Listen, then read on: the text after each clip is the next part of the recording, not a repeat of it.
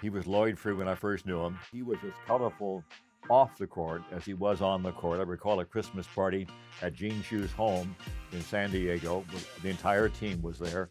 And the first time I ever heard anybody rap, he got up on a little makeshift stage in the backyard of, of Gene's house and went, what's he doing?